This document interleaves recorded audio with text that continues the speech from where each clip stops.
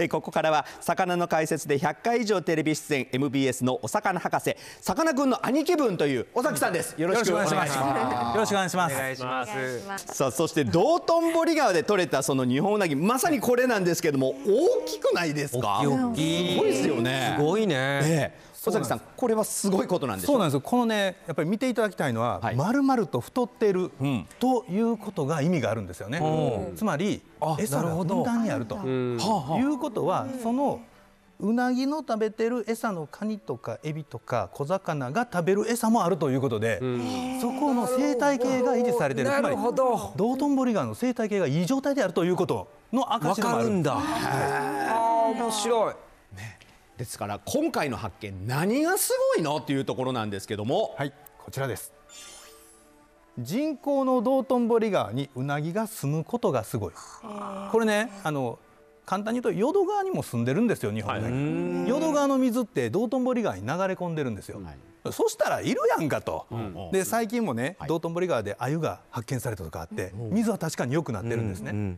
そしたらたまたま通り過ぎただけちゃうんって思われがちじゃないですか。でもそうじゃなくて、この人工の四面コンクリート。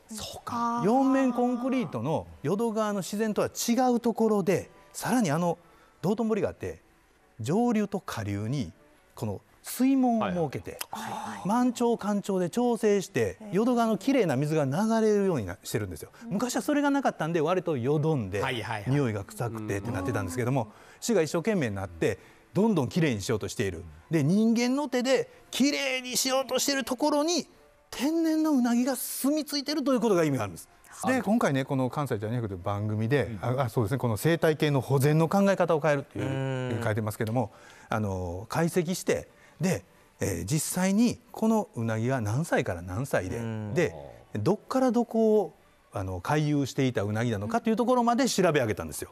でもう今論文にちょっとしてもらってるところなんですけどそれで言うと数年はあそこに住んでいたということが分かりました。道頓堀川周辺に住そうんなんでいたよ、10匹取れても10匹その前日の雨で流れてきたやないかって言われかねない、そうじゃないんだよというところまで証明したというのが大事なんです。実績というね耳の石なんですけど、あ年輪みたいになっててそれを解析したらどこを回遊したかっていうのが分かるんですよ。すごい。なのでこれは本当にここに長年住み着いていたということが証明されたのもすごい、確かに太り方でわかりますよね。そうでしょ？で人間の手で天然に近づけた川を気に入ったというのが意味があることです。天然のあの山とか自然を守るっていうのは分かるんですよ。はいはいはいでも人間の工作物そこでも野生生物が住むっていう。今回一番意味の深いところがここなんですよ。なかなかこれ伝わらんから僕わざわざちょっとすいませんあの出させてもらって。まあ、人間がねどんどんやっぱこれからも末永く生きていくためにはこういろいろ開発も進むまさにその通りなんですれと一緒にこう、まあ、共生できてるよというそうなんです証拠なんです野生ね。生物と人間との共生の第一歩っていうはいこういうことなんです、ね。じゃあ次行きましょう今後私たちのうなぎに関する食生活が変わる可能性はあるんでしょうか？こちらです。うなぎの価格高騰を打破する希望の光になるかも。はい。これ今も申し上げましたけども、まずねその前にこれうなぎの生活感というのを皆さんご存知かなと思いまして、ちょっと簡単にご説明させていただけたらと思います。うなぎっていうのは海と川を回遊する生き物です。で、うなぎはねここで産卵してるんですよ。グアム島の沖の西マリアナ海嶺南端というピンポイントの場所で日本中のうなぎがそこに集まってそこで6月の新月の夜に一斉に産卵と放生を行って受精されるんです。でピンポイントなんですよ。違うタイミングだったら受精しないんで。でそこでやってからずっと海流に流されてこのレプトケファルスって書いてますよね、はい。でこのペランペランの状態になって海流に乗りやすい状態に乗る皆さんあののれそれって食べたことあります？あはいはいはい。あれはアナゴのレプトケファルス幼生なんですよ。はアナゴもウナギと同じ仲間であのペローンとした状態。それでこうずーっとま登っていってシラスウナギになって河口付近からまた川に登るやつ。河口で住み着くやつ。海にずっといるやつ。いろいろいるんです。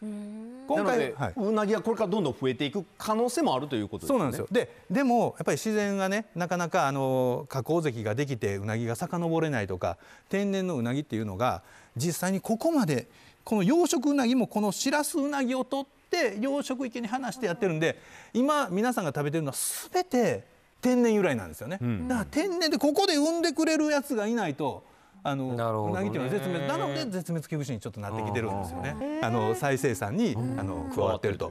でいうことは今まで見過ごされてきた人工の川とかに住んでるものもそこの天然のうなぎとしてえ産卵場に向かっているというところもちゃんと考えて保全を考えていかないといけない。共生を考えていくべきだという一つの新しい希望の光になるかすごい発見したんやな。そうなると絶滅から救われるかもしれないという。へ食卓に並ぶ機会も増える可能性もあるというそうです。もう何年先かちょっとね分かりませんけども、もうちょっと安くなったりとか、で今すごいあの完全養殖というね、はい。あのすごくやってるんですけどやっと単価3000ぐらいになってきて、ちょっと前までは1匹、ね、1万なんぼとか。なかなかあの流通に乗るレベルじゃないんですよね、難しいんですけども。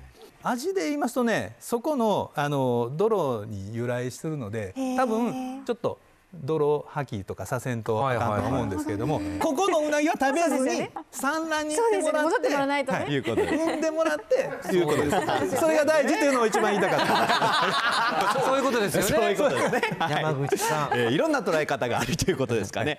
えそしてこのうなぎなんですけども、大阪府寝屋川市の生物多様性センターで、えー4月7日まで展示もされるということで、そちらでも今回ねこのあのジャニ博にご出演いただいているあの関西あの生物多様性センターのあの方がいらっしゃいますので、えその方にこの展示をしてもらってると。なるほど。ぜひこの道頓堀うなぎ見たい人は、いや素晴らしい。本物もぜひ皆さん足を運んでみてみてください。この時間はお魚博士尾崎さんでした。ありがとうございました。